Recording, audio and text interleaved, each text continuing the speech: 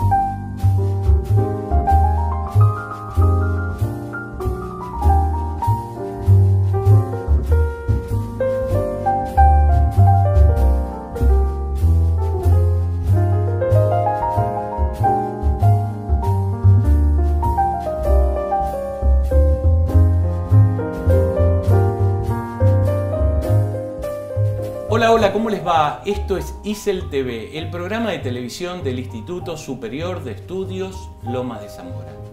Por si cultura e infancia tuvieran algo en común, hoy acompaño a Susana Wagner y Fabián Ledesma. Ellos son bibliotecarios de la Universidad Nacional de San Martín y desde 2014 integran el equipo de catalogación de la Biblioteca La Nube.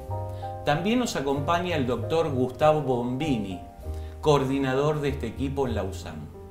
Gracias y bienvenidos. Este, sé que este es un año de mucho trabajo para ustedes. Muchísimas gracias. Muy amable. Le pido que por favor me cuenten quiénes más integran este equipo. Eh, bueno, como bien nombraste, el doctor Bombini es el coordinador general del equipo, eh, que trabaja junto con Cecilia Bayur y Sabrina Martín. Este, Noelia también, Lynch, y Noelia Lynch, eh, colaboradora. Exactamente, desde la UNSAM. Y los que estamos en la nube eh, son Fabián Ledesma, eh, Raúl Tamargo, Patricia Morales y yo, Susana Wagner, que hacemos la tarea en el lugar. Son unas cuantas personas. Sí, exactamente. Sí. Me gusta la nube como denominación de un espacio cuya particularidad es un centro de documentación y biblioteca. Eh, ustedes no son tan grandes o no tienen tanto tiempo en la nube, que está desde hace 42 años, pero seguramente me van a poder contar su historia. Eh, sí, la nube ya justamente como decís tiene 42 años, acaba de cumplirlos, va a cumplirlos, perdón, en julio, nació en julio del 75 en principio era un emprendimiento comercial, era una librería que estaba en el centro de la ciudad de Buenos Aires. Eh, estaba, los, dueños de esa librería eran eh, tres socios. Pablo Medina era uno de ellos, con dos colegas que eran trabajadoras del Ministerio de Educación y maestras también. Eh, así que eso nace en el 75. La, la particularidad que tenía esta librería estaba dedicada a la cultura de la infancia, básicamente, estaba orientado en ese sentido. En el 78, en plena dictadura militar, eh, cívico-militar, eh, las socias de Pablo eh, se exilian y Pablo queda a cargo como referente del proyecto. Y finalmente en el 79 a él lo echan del Ministerio de Educación, no puede ejercer como maestro así que directamente se dedica a, atender la nube como, comercio, pero se traslada, se muda al barrio de Valvanera y ahí en el barrio de Valvanera es, eh, digamos, estuvieron muchos años eh, donde se produjeron muchísimos proyectos, ya directamente no como biblioteca comercial, sino básicamente como eh, un espacio donde se reunían especialistas de la literatura infantil y juvenil, donde se presentaban y se avanzaban distintos proyectos vinculados al tema. eh, hasta el año 2004. Eso fue un periodo eh, importante, mucha gente la recuerda de esa época de su existencia en la calle Venezuela. Y en el 2003 reciben un reconocimiento por parte del gobierno de la ciudad como, como una entidad que bueno, sostenía la memoria de la infancia, la cultura de la infancia. Eh, y le otorgan un, nuevo espacio en el barrio de Chacarita en el año 2004, que es la actual sede de la nube. Ahí en ese espacio, bueno, empiezan a desarrollar toda una actividad directamente vinculada a, este, la actividad cultural y pedagógico-didáctica. Bueno, y, básicamente continuó Pablo acumulando material, información este, respecto de la cultura de la infancia hasta hoy día. Hablas de acumular material. La colección de la biblioteca dispone o cuenta con 90.000 volúmenes y algunas obras que merecen el mote de joyas. ¿Cuáles son esas joyas? ¿Y qué es lo que las hace acreedora de esa condición? Bien, eh, la nube es de alguna manera la, la, cultura de la infancia y la historia de la cultura de la infancia en la Argentina. Entonces, entre las joyas vos podés encontrar todos los, este, no sé, todas las alicias en el País de las Maravillas de Lewis Carroll publicadas en la Argentina primero y luego más allá de Argentina también. Podés encontrar todas las ediciones de Pinocho, por ejemplo, que son cuantiosas y diversas en ilustradores, ediciones, adaptaciones, etc. Es decir, cualquier corte vinculado con la historia de la cultura de la infancia y con la historia de la pedagogía en el sentido de la formación del niño, este, ahí está el enclave, digamos, donde cantidad de investigadores vienen desarrollando sus proyectos de investigación. Es como la primera fuente cuando uno aborda problemáticas de la educación, del niño, de, la juventud también. Ahora, la intervención de la UNSAM eh, es bien interesante en términos de articulación entre instituciones, es decir, una universidad pública y un emprendimiento en principio privado, pero al que todos sentimos como público. Está claro que la nube y la USAN están vinculadas. ¿Qué resultó de ese vínculo y qué esperaban ustedes que resultara? Bien, la Escuela de Humanidades, eh, desde hace varios años, en el momento en que Carlos Ruta, el actual rector de la UNSAM, era el decano de la Escuela de Humanidades, él tenía en su planificación el desarrollo de un área de investigación y de formación en literatura infantil, que en general en las, universidades nacionales y en los organismos de investigación es un área que llamamos de vacancia. No se ha trabajado mucho en términos académicos de investigación con la literatura infantil. Esto el decano entonces lo vio bien y entre otras cosas como la creación de la carrera que nosotros tenemos a cargo, que es un posgrado universitario en literatura infantil, aparecía ahí una paginita de convenio con la nube, un atinado convenio, pero que no tenía desarrollo, era lo que llamamos el convenio marco, pero faltaba ponerle letra. Todos los que venimos, por un lado del campo académico y por otro lado del campo de la literatura infantil, tenemos a la nube como referencia fundamental y sabíamos de una carencia también, de una vacancia, que era la organización del, material en la forma profesional de la catalogación. Como esto es una iniciativa de Pablo, y Pablo Medina a lo largo de todos estos 42 años ha juntado material por material hasta llegar a 90.000, la referencia para la ubicación del material, las redes digamos, de consulta están fuertemente en la cabeza de Pablo. Este, con lo cual él mismo desde hace unos años ya había planteado como un problema que en realidad podía ser de todos y no solo de él, y en este caso lo asume una universidad pública, es el hecho de ordenar ese material, catalogarlo, catalogarlo para darle visibilidad, orden, bueno, lo necesario, que acá los colegas saben muy bien.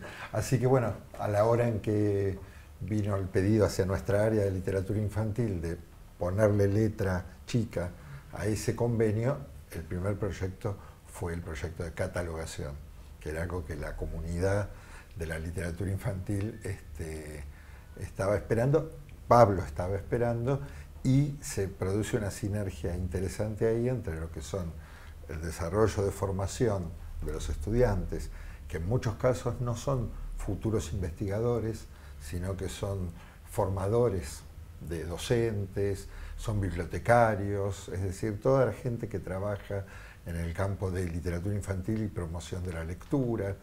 Estos son nuestros alumnos y otros que tienen la proyección hacia las tareas de investigación.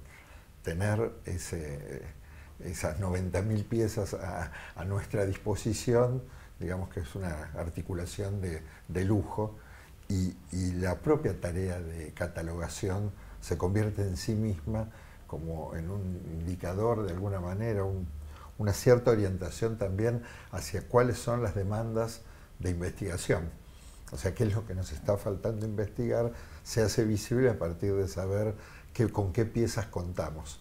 ¿sí? Más más la memoria personal, vamos a decir, y, la propia producción intelectual de Pablo Medina, que en principio es un maestro correntino autodidacta, sin formación académica, pero como yo digo, cada vez que me voy a, sentar a conversar con él con un cuaderno en la mano, este es mi eh, postdoctorado informal, porque de las intervenciones de Pablo, las redes que él tiene en la cabeza, el conocimiento, vamos a decir, vital que él ha tenido siendo, no sé, amigo de Javier Villafañe, amigo, cualquiera de los referentes del, último más, más de medio siglo de literatura infantil y cultura de la infancia de Argentina, Pablo ha tenido un conocimiento directo y una visión muy particular que es que en realidad es lo que, lo que mejor hace un investigador, que es establecer redes, pensar contactos y ver la productividad. Pablo te, te ofrece las líneas de investigación de vacancia, pero además soportadas con los materiales necesarios para poder abordar esa investigación. Así que para la UNSAM es este convenio es un enriquecimiento académico muy, muy fuerte y a la vez, eso lo van a completar los chicos, del proyecto inicial de la catalogación saltamos a otro proyecto que, se complementa, digamos, y que le da más carnadura a la cuestión. ¿no? Gustavo, vuelvo a la pregunta anterior en relación a las joyas. Además de la colección de Pinocho, porque te interrumpí, ¿qué otras podemos mencionar? Ahí podemos mencionar todo lo, que no es literatura, ¿sí? referido a la historia del títere, eh, referido a la historia del juguete infantil, entendiendo esto también como cultura de la infancia, el circo, la calecita, ¿no? todos materiales que, llamaríamos que, no son libros y, que y dan cuenta, digamos, de, la... porque la joya ahí es saber que cada una de estas cuestiones tiene una historia y que los materiales de esa historia los tenemos a mano. ¿No? No sé qué, se podía Música, cine. Música, cine. todo, todo lo que esté vinculado con la, con la cultura de la infancia aparece en la nube. Además de ser un gran centro cultural que promueve todos espectáculos para chicos, es un gran centro donde eh, muchos profesionales eh, de, de la literatura, escritores, van a presentar sus libros ahí porque consideran como el espacio, el lugar donde necesariamente deberían presentar sus, sus trabajos, muchos trabajos de investigación que crecen dentro de la nube, más tarde se terminan también presentando en la nube. Es un, es un espacio que eh, en sí mismo es virtuoso, digamos. Uno, uno puede encontrar ahí el universo de la cultura de la infancia. El equipo hizo un particular recorrido al momento de iniciar el proceso de catalogación. Aunque se trata de algo muy técnico, sé que podrán explicarlo. Los escucho. Sí. Bueno, en, el 2013 em, se pudo conformar el, equipo de bibliotecarios eh, que nos pusimos este, con la tarea justamente de, en principio de catalogación y eh, clasificación e indización eh, de los documentos y librarios y en principio después de publicaciones periódicas.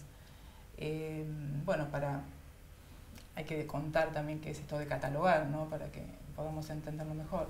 Eh, cuando nosotros catalogamos como todo bibliotecario, toma el libro y, lo primero que hace es mirar, describirlo, ¿no? El autor, el título, este, la, edición, la editorial que, este, la casa editorial, las páginas, bueno. Em, en cuanto a la clasificación, estaríamos, em, trabajamos con las temas, o sea, hay una clasificación que es temática, agrupamos por temas. Y la indización ya sería el, análisis del contenido de la obra. Eh, estas son las tareas que en principio estamos eh, llevando adelante.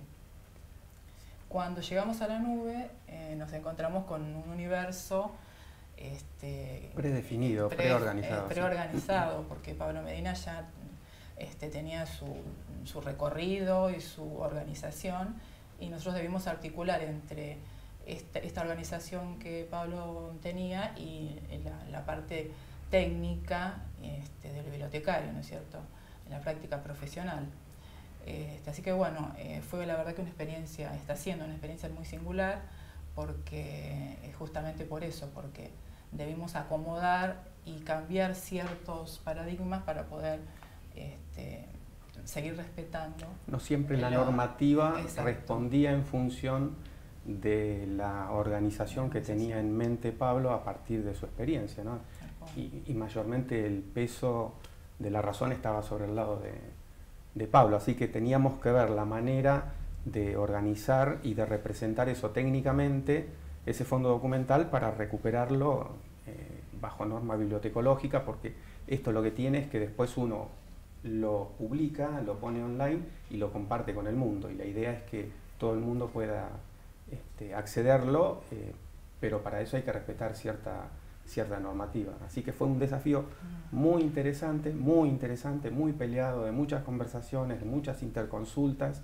Jugaron muy fuerte ahí nuestras consultas con los disciplinares especialistas en, el tema, porque, bueno, había que tomar decisiones. O sea, uno... Este, y también sabía que se iba a pelear con... Este, con, la norma. Después había que explicarlo eso frente a los colegas, decir, bueno, se trabajó en este sentido por tal y cual razón este, para tratar de, representar mejor este, este fondo documental. Me interesa saber cuáles son las distintas categorías dentro de una misma temática como lo es la literatura infantil, ¿no? Sí, nosotros... Este, en realidad me intriga. Eh, nosotros cuando llegamos también encontramos como que bajo la denominación genérica de literatura, teoría de la literatura infantil y juvenil, había mucho material este, de cultura de la infancia y de la infancia misma. Y entonces tuvimos que reorganizar este, otras colecciones, armamos, así como teoría y crítica de, la literatura infantil y juvenil, eh, historia de la literatura también, eh, infancia y folclore, educación, eh, infancia y cultura. Esas colecciones las tuvimos que ir armando para eh, poder especificar, para poder ahondar más en cada, en cada tema, ¿no es cierto? Y fundamentalmente, bueno, discúlpame, teníamos que dar respuesta a una demanda primaria que era la de la UNSAM, lo de los alumnos, de los estudiantes de la UNSAM, que, eh, este, bueno, ellos iban a trabajar sobre este fondo documental, nosotros teníamos una planificación para avanzar en la catalogación, pero la reorientamos en función de estas necesidades. Por ejemplo, decidimos iniciar todo el proceso a través de, la colección de literatura infantil, de teoría de la, teoría de la, literatura. La literatura infantil y juvenil. Que es el material que iban a utilizar este, primero en las, en las carreras de la UNSAM. Si la cultura infantil tiene un lenguaje propio, es necesario un vocabulario terminológico. Ustedes están en esa construcción, ¿verdad? Sí, sí. Eh, justamente em, en el momento nosotros, antes de, realizar el, proceso de catalogación, tuvimos un periodo donde estábamos a la espera de, algunos materiales que necesitábamos, esto de conectividad o la capacitación misma que nos tenían este, que dar, y en ese, en ese periodo nos dedicamos a indizar, o sea, a hacer el análisis intelectual de las obras, a extraer las ideas más importantes, em, a, pasar a hacer una traducción de un lenguaje natural, que es el lenguaje con que uno utiliza, que uno utiliza cuando este, saca las citas más importantes de un texto, eh, traducirlo al lenguaje normalizado que tenemos que utilizar los bibliotecarios. Eh, estuvimos en contacto con, con este, los tesauros, que son... Eh, básicamente el, tesauro es una herramienta que tiene todo bibliotecario, es un, agrupamiento de términos en donde el conocimiento del mundo está representado. Entonces ahí eh, uno le asigna un nombre determinado a un tema y es ese nombre y no otro. Entonces por eso se lo llama normalizado. Eh, cuando nosotros teníamos que, tuvimos que representar el contenido de la bibliografía de la nube, eh, es hacer el análisis intelectual de, de, cada documento, eh, nos encontramos con que había una carencia en, en la disciplina, en la literatura infantil y juvenil. ¿Qué es esto? ¿Qué quiero decir con esto? Cuando nosotros, eh, nosotros dependemos normativamente de la Biblioteca Central de la UNSAM. Eh, nos asignan toda la documentación con la que nosotros debemos trabajar. Eh, la Biblioteca Central trabaja con el tesauro de la UNESCO, que es un tesauro de educación, es un conjunto de términos normalizados, y a nosotros, cuando fuimos a buscar términos que representaran el fondo documental de la nube, no podíamos encontrar teoría eh, de la literatura infantil y juvenil. Lo único más cercano que había era libro para chicos. Eh, entonces esa herramienta nos resultó eh, insuficiente, porque no podíamos representar todo ese fondo documental bajo esa denominación simplemente. Con lo cual empezamos a hacer una investigación en las principales bibliotecas del mundo y de las principales bibliotecas y centros de documentación que se refieren a la cultura de la infancia para ver cómo habían trabajado ellos el tema, con qué herramienta habían trabajado. Y descubrimos que en realidad eh, justamente había como un espacio de vacancia, para retomar el término que utilizó Gustavo. Eh, con lo cual, un ejemplo claro era, nosotros íbamos a trabajar sobre la este, colección de circo y nos aparecía eh, bibliografía que hablaba del circo criollo. En ningún lugar del mundo el circo criollo eh, representa nada. En particular es algo muy nuestro, es algo muy particular de la Argentina. Hay mucha experiencia y mucha historia sobre esa cuestión en particular. Así que nosotros tuvimos que crear una nueva manera de denominar cierto tipo de contenido. Circo criollo. Así que fuimos mechando, recorríamos los diferentes vocabularios controlados, tomando términos para representar contenido y a veces cuando no lo obteníamos creábamos nuestros propios términos, nuestros propios, descriptores. Esto lo teníamos que consultar permanentemente con, la gente de la disciplina, los especialistas, y con Pablo mismo, que él era quien nos daba muchas pistas de cómo denominar o de qué se trataba tal o cual este, publicación. Así que fue un, nuevo producto que fue creciendo, fue un, un mix entre lo que estaba y lo nuevo que nos fue apareciendo, lo que fuimos creando y de esta manera surgió un vocabulario, un vocabulario que eh, finalmente se creció, se hizo grande, eh, tuvimos la posibilidad de mostrarlo este, a, la Biblioteca Nacional de Maestros. Eh, la Biblioteca Nacional de Maestros posee una herramienta, fomenta el uso de una herramienta que gestiona y crea vocabularios para la educación argentina y nos ofreció la herramienta para ver si nosotros podíamos volcar toda esta información que habíamos generado a través de esa herramienta. Lo presentamos en esa herramienta y la verdad que funcionó perfecto, nos pidieron publicarlo y finalmente entre la UNSAM, la nube y la Biblioteca Nacional de Maestros pusimos online, disponible para el público en general, un vocabulario que es, es un surgido del trabajo, con, con mucho esfuerzo, modesto todavía, no es un gran vocabulario, pero que tuvo muy buena respuesta en el público en general, porque enseguida empezaron a llegarnos repercusiones sobre, bueno, que eh, mayormente alegraba la aparición de esta nueva herramienta, de este nuevo este, objeto para trabajar. ¿no? Continúo contigo, Fabián. En mayo de este año estuviste en Tucumán presentando la experiencia USAN La Nube. Contanos cómo te fue y cuál fue tu auditorio, pero te pido si lo podés hacer después del corte. Cómo no, con gusto. Hola, hola, ¿cómo les va? Esto es ISEL TV, el programa de televisión del Instituto Superior de Estudios Loma de Zamora. Hola, hola, ¿cómo te va? Hoy queremos presentarte y mostrarte qué es lo que podés encontrar en nuestro canal. El ISEL TV es un programa de entrevistas que se construye a partir de diálogos producto de nuestras inquietudes. Debemos confesarte que quedarnos quietos no es lo que más nos gusta. Lo que sí nos gusta, por ejemplo, es el arte en todas sus expresiones. Nos acompañan dibujantes, artistas plásticos, actores, músicos, bailarines. O vienen o nosotros vamos donde su obra se gesta, se expone, se muestra, se goza.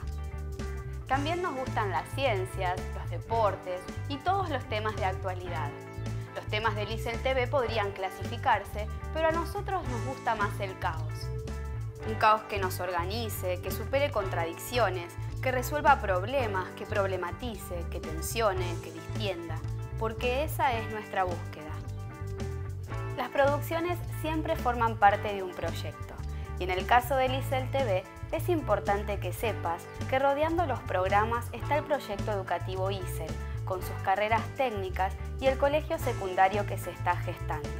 Abraza y acompaña a este proyecto el propietario de la idea, el Colegio Público de Martilleros y Corredores del Departamento Judicial de Lomas de Zamora. Este es nuestro estudio. Podés acercarte y visitarnos cuando quieras. Y si no, nos seguimos encontrando en donde queda el registro de lo que hacemos. A nuestro saludo habitual le agregamos el deseo de que no te quedes quieto, que tengas una larga y buena vida.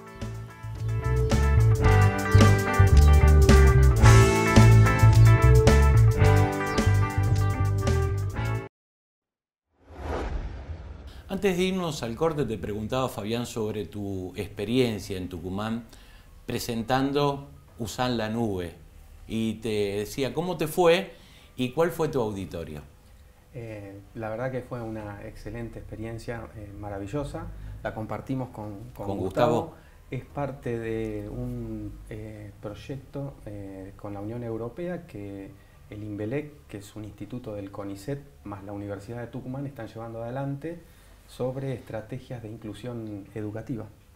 Y ellos, como investigadores, están generando mucho conocimiento, mucha documentación este, que necesitan publicar, necesitan compartir, así que se enteraron de la mm, experiencia UNSAM La Nube eh, en el doble sentido de catalogar y organizar la información en un área que este, se, fue de- se estaba definiendo y a la vez la creación de un vocabulario propio, así que les interesó mucho este, esa experiencia y nos pidieron que, que fuéramos a capacitar a los propios investigadores y becarios del CONICET, eh, a la vez que sentar las bases para la creación de una biblioteca digital y un repositorio digital donde los investigadores puedan, puedan publicar y la idea era este, bueno, ver cómo ellos este, organizarían esta nueva información que fueran generando.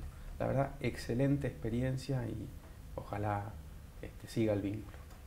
¿Querés agregar algo, Gustavo? Sí, claro, que esta experiencia tiene su componente pedagógico en realidad, porque la cuestión de lo digital está vinculada, bueno, lo digital y la inclusión, las dos palabras que Fabián mencionaba, está vinculada con la incorporación de, de lo digital en términos de materiales educativos, en términos de desarrollos didácticos, etcétera. Por eso una buena parte del equipo del, del INBELEC son investigadores que a la vez están vinculados con prácticas de enseñanza y están pensando el modo en que lo digital supone nuevos desafíos, ¿sí? que es como una pregunta interesante y, en ese punto el hecho de que la nube pone a disposición un repertorio de literatura, digamos, y de cultura en general, genera un, vínculo bien, bien interesante entre todo ese material y las posibilidades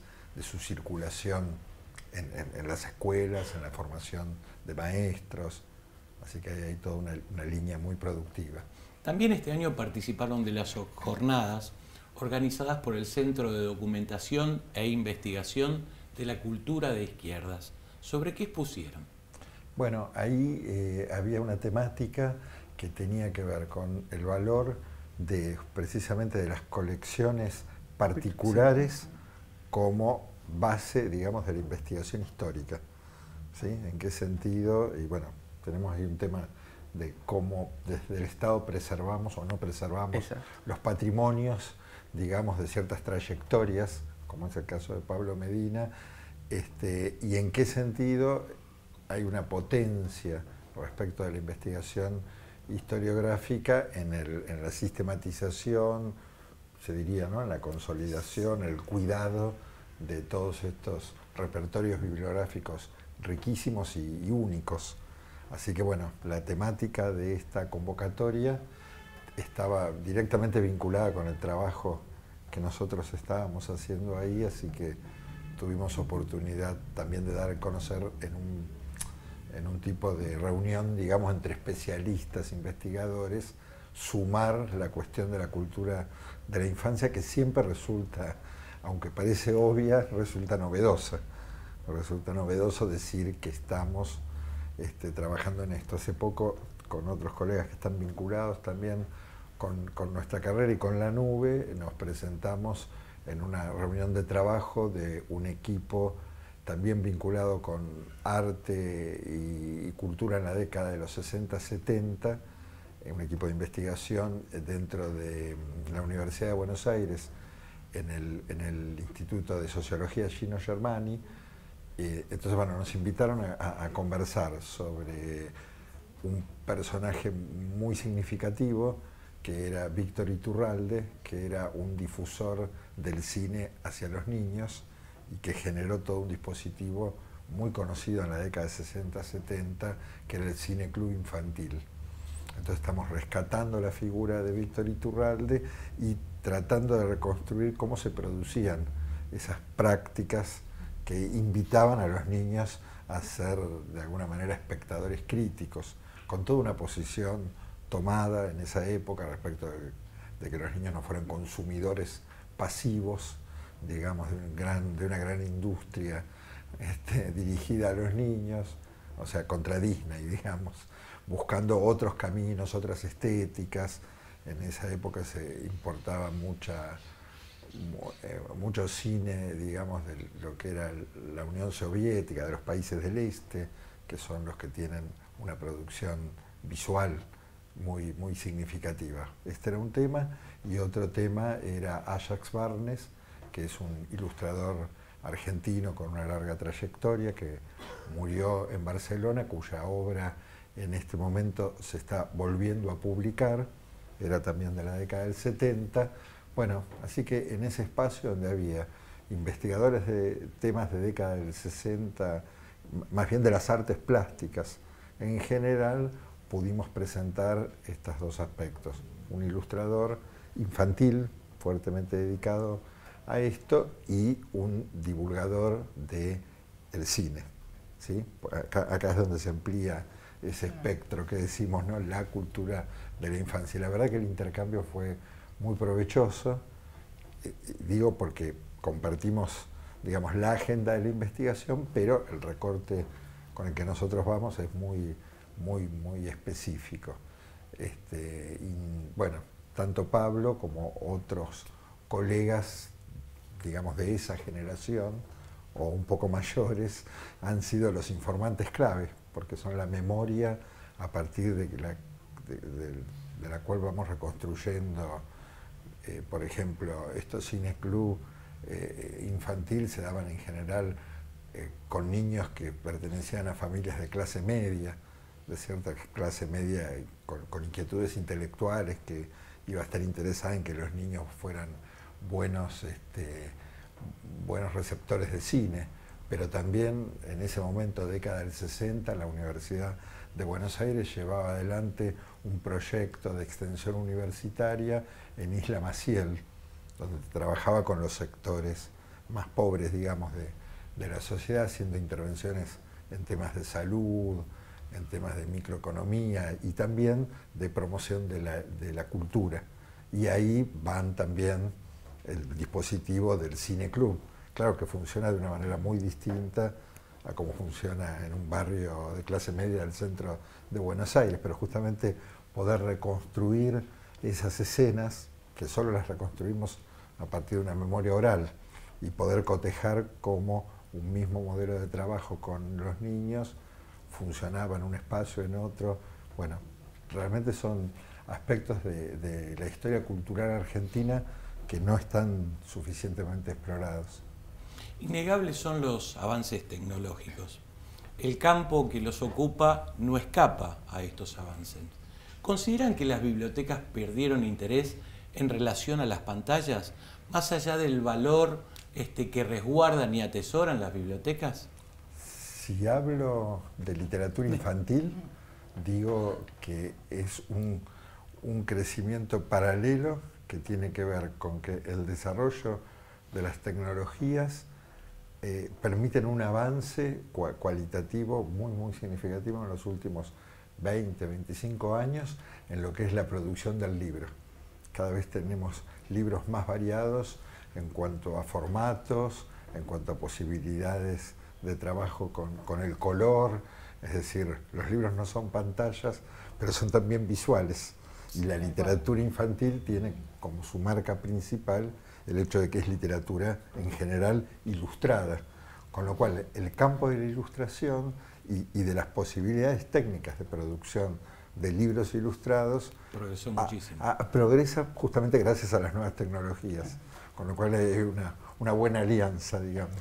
Sí, la nube ahí en ese sentido es, la nube representa el libro, es el libro. Eh, cientos, miles de chicos por año van a la nube día a día, mañana, tarde, y conocen la historia del libro, o sea, este, conocen desde, desde las tablillas eh, este, esculpidas hasta el pergamino, hasta lo que decía Gustavo de los últimos eh, gritos de la moda en, libros, este, pero siempre la historia está en base al libro. A, nosotros en lo personal, en lo particular como equipo de la UNSAM, la pantalla eh, nos favoreció muchísimo porque este proceso de catalogación, en realidad lo que estamos haciendo es ponerlo a través de una pantalla eh, al alcance de la mano para cualquier investigador, alumno de la disciplina en, cualquier parte del mundo. O sea que la pantalla es un aliado en ese sentido para nosotros. Y este, ahora estamos en un proceso incipiente que es de digitalización de alguna documentación especial que hay en la nube, con lo cual también lo vamos a compartir. Es una manera diferente, pero para, para nosotros la verdad que ha cerrado un círculo virtuoso. La tecnología ha sido una, una gran aliada. En la actualidad en muchos ámbitos se habla de la promoción, de fomento. Si lo que se busca o lo que se pretende es el hábito por la lectura y el gusto por la literatura, ¿las bibliotecas operan en ese fomento? Diría yo que las bibliotecas son como el domicilio natural para ese fomento y podemos pensar en varias bibliotecas, ¿no? La biblioteca escolar, por ejemplo, como una institución adentro de una institución y hemos trabajado mucho, tanto en la UNSAN como en otros proyectos, en otros ámbitos, con potenciar la relación entre el aula y la biblioteca, entre el trabajo del maestro y el trabajo del bibliotecario, digamos, todas unas zonas de diálogo que a veces las lógicas escolares o ciertas tradiciones frenan esos diálogos y cuando los potenciamos y cuando armamos una mesa de trabajo donde están todos presentes, esa idea de promoción, esa idea que al, fin los destinatarios últimos son los, los niños, eso funciona bien. Pero también funciona bien los modos en que la escuela, por ejemplo, articula con las bibliotecas barriales, digamos, cómo pensamos que una comunidad de lectores es una comunidad en un sentido, en un sentido amplio. Entonces todas aquellas estrategias que ligan a adultos que no son únicamente la familia, sino son las familias, pero también otros modos en que los adultos y ciertas instituciones se vinculan con los niños y con la escuela, potencian este, cantidad de posibilidades ¿sí? y una suerte de, que es muy de la cultura argentina, ¿no? de pareciera que todos compartimos y estamos de acuerdo con que ahí hay algo importante sobre lo cual tenemos que trabajar, que es la, alfabetización y el acceso a la cultura escrita. En ese punto, digo, no, no hemos claudicado pese a haber tenido episodios que no eran los mejores para esto. ¿Cuáles son los propósitos del programa de lectura y escritura en literatura infantil y juvenil? El especialista. Debo hablar yo. Debo hablar yo.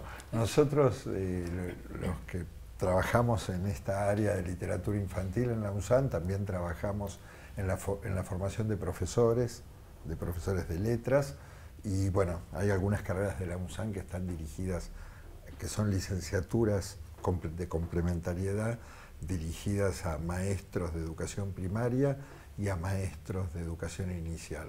En todas las carreras, de manera transversal, nosotros tenemos literatura infantil. Hemos sido muy, muy persistentes en eso, en las carreras virtuales, en las carreras presenciales, etc. De otras experiencias, Ministerio de Educación de la Nación, en otro periodo, Ministerio de Educación de la Ciudad, etc., venimos trabajando en acciones que tienen que ver con promoción de la lectura, y cuando decimos promoción de la lectura, rápidamente decimos literatura y literatura infantil, y este, en formación de equipos y en formación de formadores, digamos, porque acá hay un tema que es importante que tiene que ver con el vínculo que tienen los maestros con la literatura infantil. Y, en realidad no cabe hacer un persaltum y olvidarse del maestro y dirigirse directamente al niño, sino que hay que armar ahí una comunidad de lectores, niños y maestros. Entonces, en este punto, digo, las actividades de formación que hacemos en la UNSAM, el caso de las diplomaturas, a las diplomaturas, que, en realidad es un ciclo de tres diplomaturas que son consecutivas y, digamos una obliga a la, otra, es un ciclo completo, y ahí nosotros trabajamos con contenidos específicamente literarios, que son esos contenidos bien específicos de la literatura infantil que no aparecen en, en los tesauros, porque son bien específicos y los vamos descubriendo, pero los vamos descubriendo en el trabajo con los maestros y en la idea de que los maestros como mediadores van con ese conocimiento. Y ese conocimiento tiene que ver no con un, en definitiva, con un saber erudito ni con un saber teórico que no sirve para nada, sino con un saber que sirve para la lectura, sirve para generar situaciones de lectura más provechosas, situaciones de enseñanza-aprendizaje más provechosas con los contenidos este, literarios. Así que ahí hay objetivos grandes que tienen que ver con pensar a la propia universidad como una comunidad lectora. Tenemos también a, los ingresantes, por ejemplo, que son como el gran desafío. Claro. Supongo, hablando de desafíos, que muchos desafíos los esperan, algunos incluso impensados ahora, que irán descubriendo en el devenir de los procesos. En sentido inverso, ¿el trabajo de ustedes es un desafío para otros campos? Bueno, en realidad nunca lo había pensado de esa manera, pero la realidad es como que nos empieza a mostrar que sí, que efectivamente, de alguna manera, eh, como en el caso de Tucumán, Imbelec Conicet, eh, somos una, una experiencia eh, que puede servir, una experiencia de, ya te digo, desde lo normativo, una experiencia desde la interacción entre estos ámbitos eh, más privados con las universidades públicas, el cruce entre eh, los especialistas y, una disciplina que es la bibliotecología que pareciera alejada como de ese, de ese rubro de, la investigación. En realidad a nosotros nos ha modificado la forma de, entender nuestra profesión. Eh, ha sido un, impacto que, que, se nota, o sea, es notable eh, las posibilidades que se abren, ¿no? porque impensadas por otra parte. Alcanzo a ver la dimensión política del trabajo que ustedes realizaron. Le pido un último esfuerzo para cerrar esta entrevista, que tomen distancia de lo hecho y nos hablen de estas dimensiones en lo producido hasta aquí. Eh, bueno, a mí me parece clave en un momento en que, eh, bueno, hemos tenido un desarrollo bien interesante con la creación de universidades nacionales, el caso de la Universidad de San Martín, que cumple nada más que 25 años, digamos, el hecho de que en las agendas de las nuevas universidades nosotros podamos tomar aquellos temas que eran los temas, como veníamos diciendo durante la entrevista, de vacancia, ¿no? que por distintos motivos, que no vamos a analizar, que en muchos casos son prejuicios, desconocimiento, ¿no?